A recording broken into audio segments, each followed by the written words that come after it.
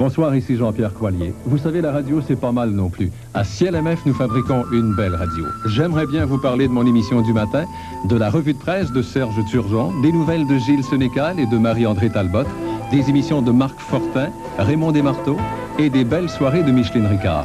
Mais voyez-vous, Ciel, c'est surtout de la musique.